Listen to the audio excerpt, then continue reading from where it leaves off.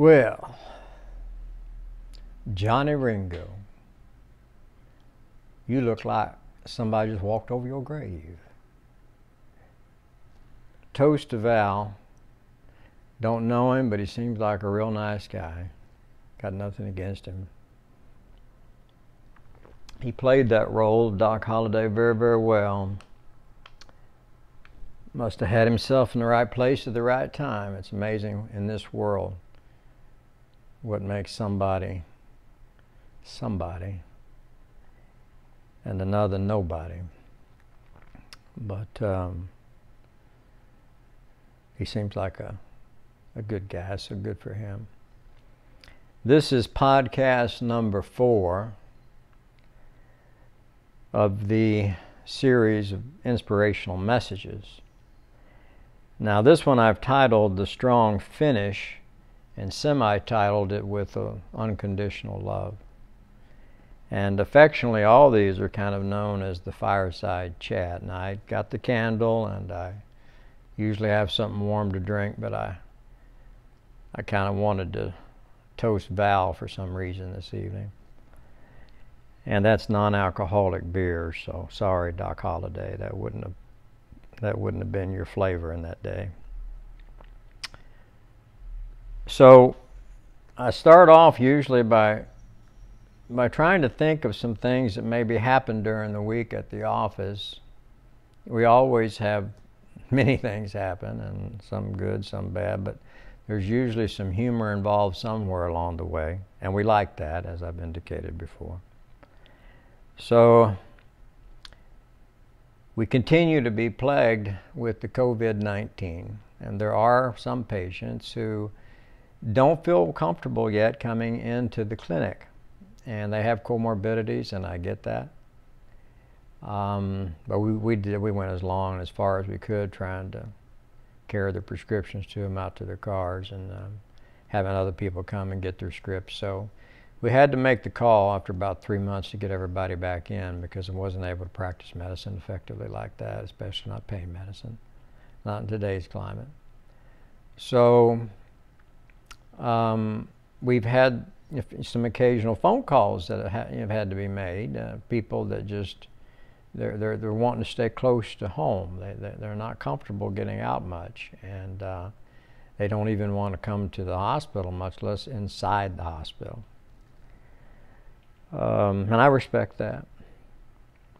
So I was on a on a call. The phone was handed to me by Melissa, who had already called. And just for the sake of this, I'm going to call his name George. The patient's name is not George because we have to be very, very aware of any type of HIPAA violation.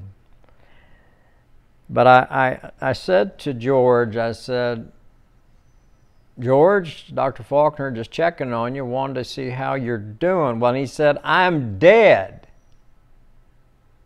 And I, I stopped for a moment. I, I said, George?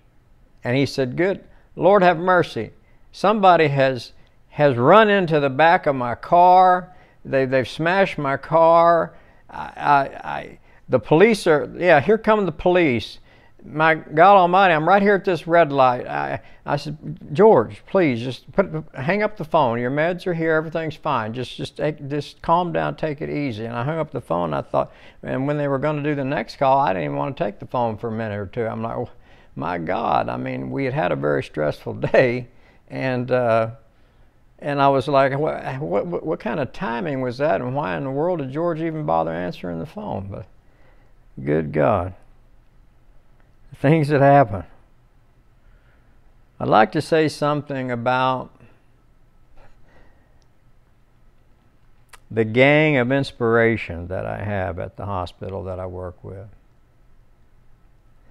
They make every day better. I mean, uh, they make it so that when I'm going in, I, I know that they're there. They're like a warm blanket. They're, they're just great people.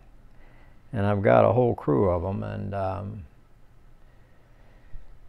and, and I want to say something about them. You know, Lisa, uh, the lab tech, the queen of the urine drug screen, screen. Boy, I've leaned a lot on Lisa. She's been wonderful, wonderful.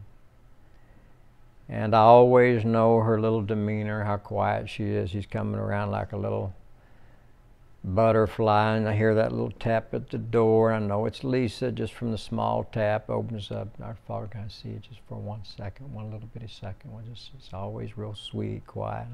Yeah, what is it, Lisa? Was right? Well, you know, look, it's all clear. It's it's cold. I think they gave me water, and I mean, it's it's like Lisa. Um, why do these people bother?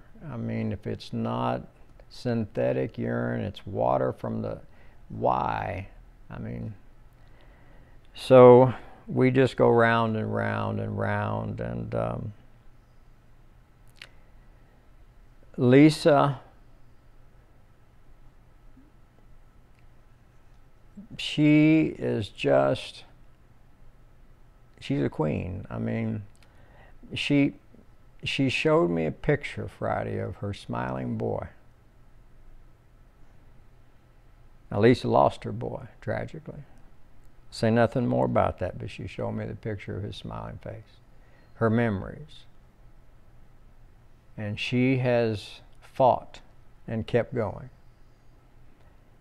And she is, as a result, an inspiration to all members of our faculty plus members of her family. Love you, Lisa. Phyllis. Phyllis, uh, Phyllis is she's nothing, but she's everything. She's she's like she walks around. Where am I? Where am I going? But I'm here. But I'm there. I'm everywhere. Where should I be? I, am I'm going over here. I'm going there. I mean, who wants me to do what? When? Where? What is happening? And I mean, and and that Lisa. I mean, uh, Phyllis. Phyllis. She just she she can't she can't be five people, but she tries her best to be at five places at the same damn time. So, uh,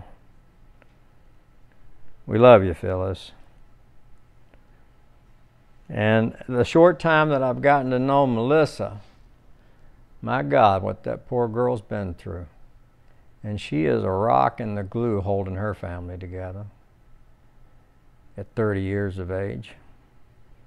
Just in the short time I've known her, I mean, uh, the list of things that that young woman has been through. And all I do is find myself saying, Where is she? Where did she go?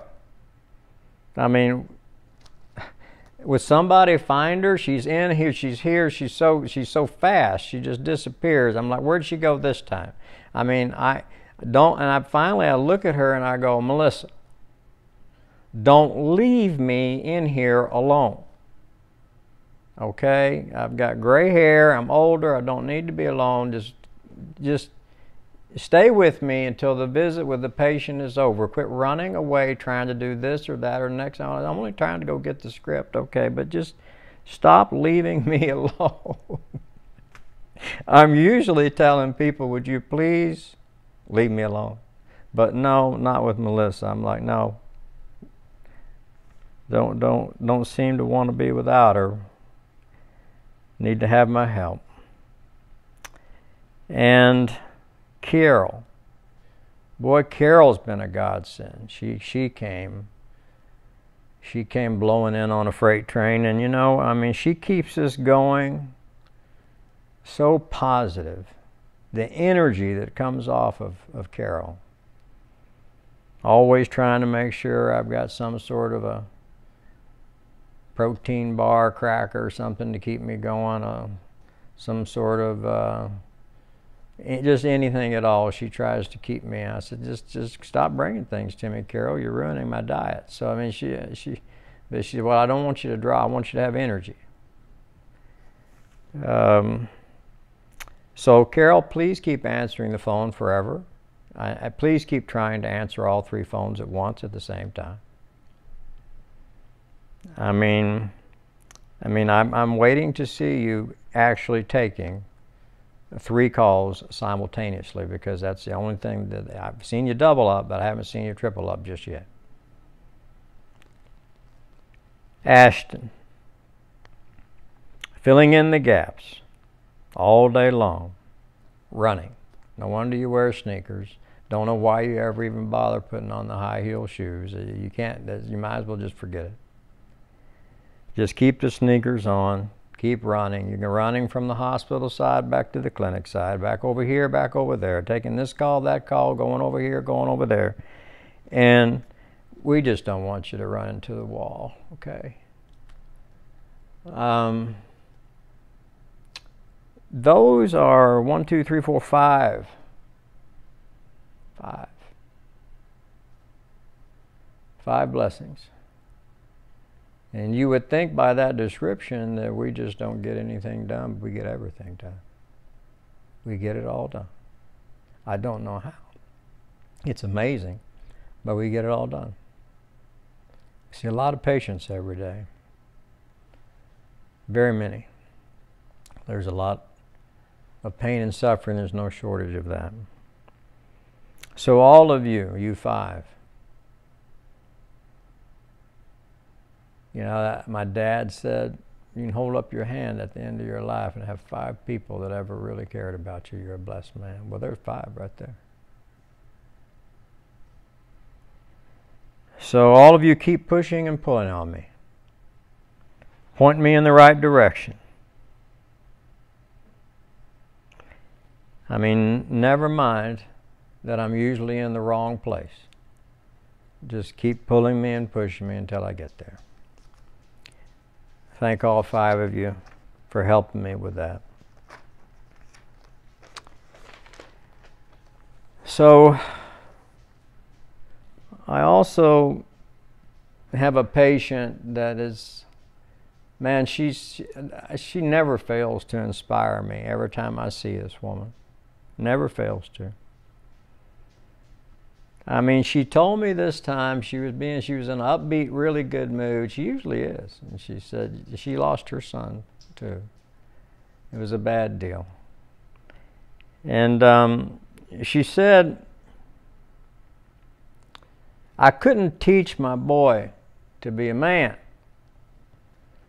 because I didn't have a pickle. And uh, I, uh, I said, I, I won't say the name. I, th- I said, you know, uh, maybe that was a little too much information. Um, but don't worry, I get it because I couldn't be a mother to my kids either. And the last time I looked, I had what was left of a pickle. So uh, we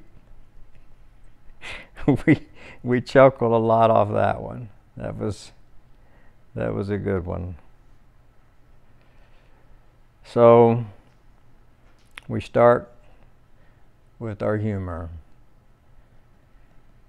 I was listening to what I would refer to as a poet, some music earlier today.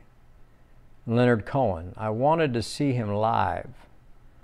He was in New York City, and I came that close to getting a ticket and going just so I, because I knew he was on his last tour, as he really was.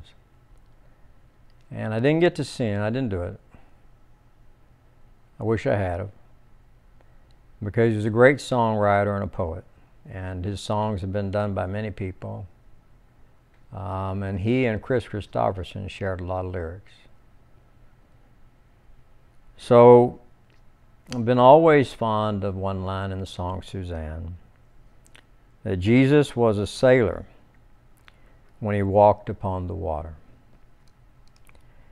And when he knew for certain only drowning men could see him, he said, All men will be sailors then, until the sea shall free them. And I always believed that I knew what Leonard meant by that. That only upon drowning will we finally humble ourselves enough to look up to the heavens and call out for a God. It's sobering to come to a point when there appears to be not much of a future. just a past. A past where choices and decisions have placed one at point A when B now looks to be so much better. The road not less traveled, but never traveled at all. Now, in reality, how would one know? How would you know the outcome? How would you really know?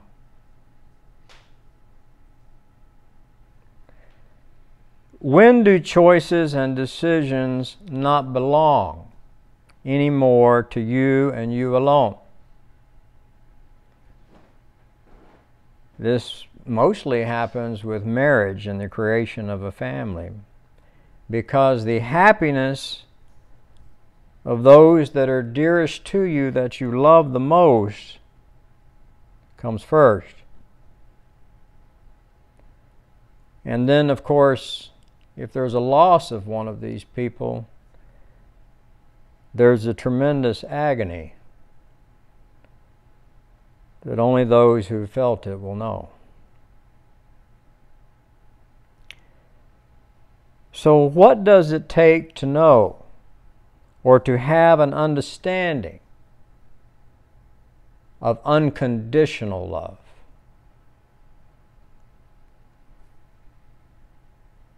Well, most often, a broken heart. The deep despair when your personal crucifixion and heavy burden from the awareness that your sacrificial love has gone somewhat unnoticed or underappreciated, that you laid your dreams down for others you loved enough.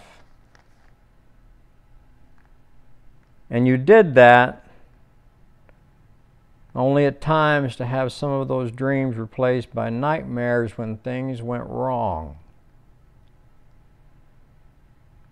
The love unconditionally given was perhaps returned with conditions or maybe not at all.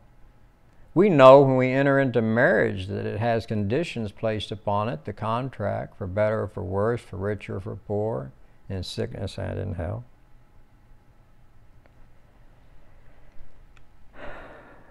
Well, there's expectations, and you know that you can handle the good. You're looking forward to that, and maybe you feel like, hey, I can get through the bad, but you know, you're just not prepared at all for the ugly. For me, that came at a time when my wife died, and it was about as cruel of a death as one could imagine.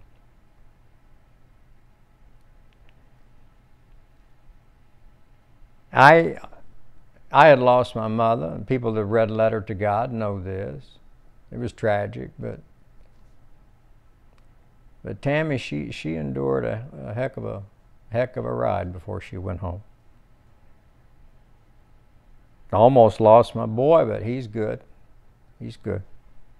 And I, I have to be thankful for that. Very blessed and thankful because I've just told you about just two people just in this little episode here that they don't they their boys are gone. So the broken heart, the empty wallet.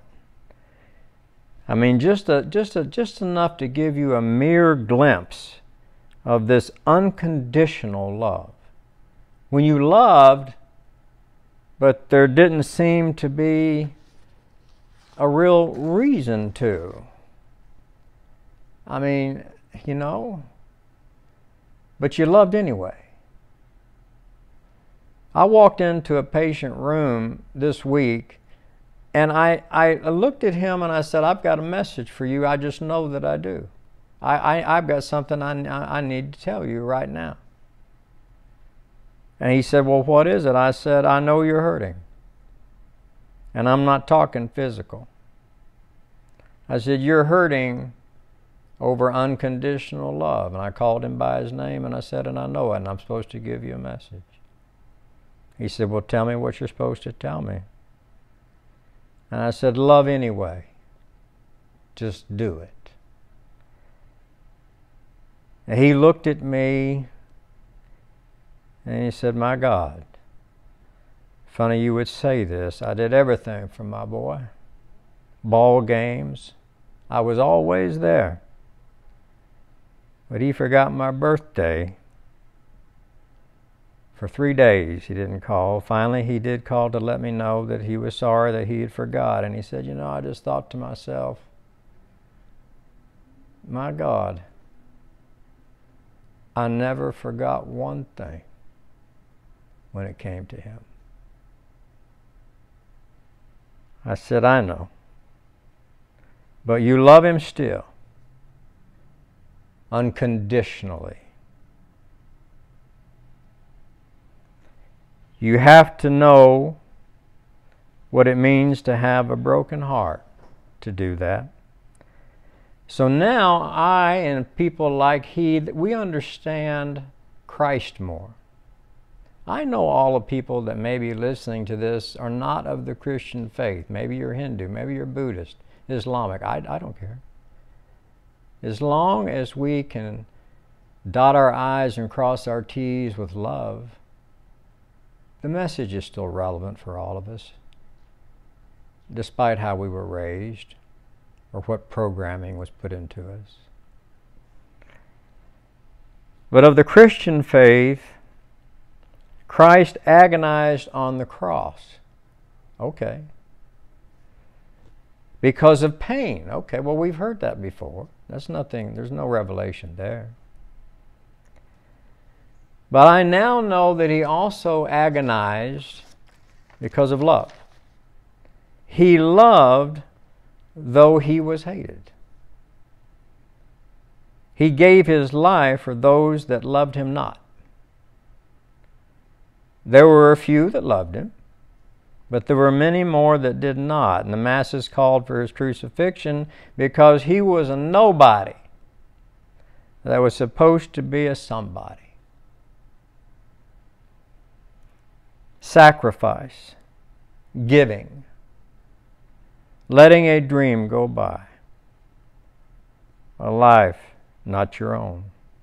But it's okay because look at all the love. But wait, it's gone.